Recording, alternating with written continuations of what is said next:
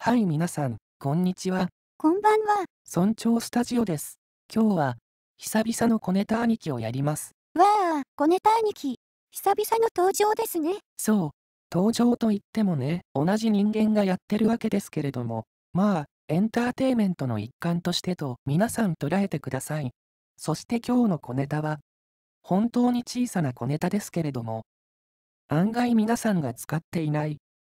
そんな小ネタで、いわゆるミキシングコンソールのところでできる便利な小ネタです。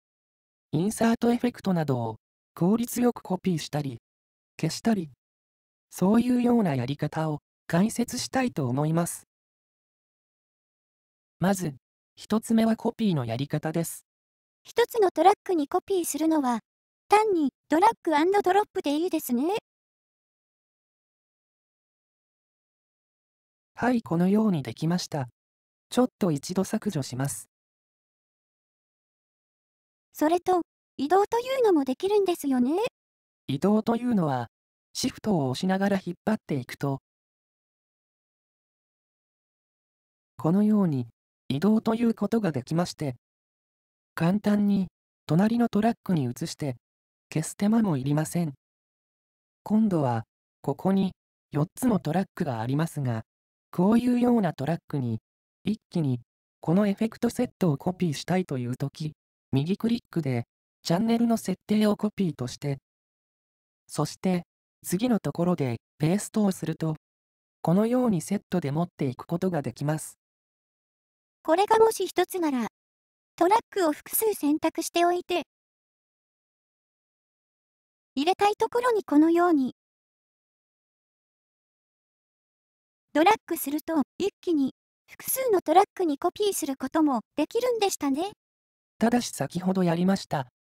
チャンネル設定のコピーでは、同時に複数に貼り付けることはできません。一つのところだけになってしまいます。そしていらなくなった時は、皆さんどうしてるでしょうか？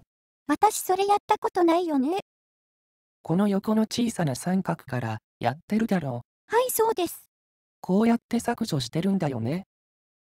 このようにしなくても、これでコントロールキーを押しながら、全く違う外のエリアに持っていくと、削除できます。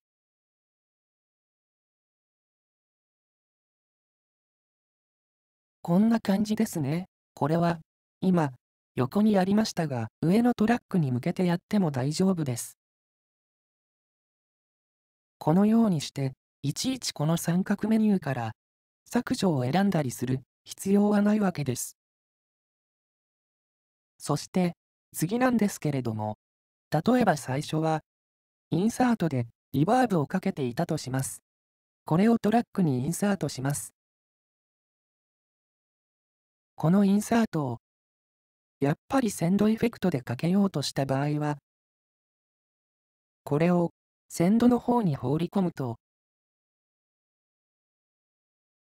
このように FX トラックが自動的に出来上がりまして、そしてセンドエフェクトできるということになります。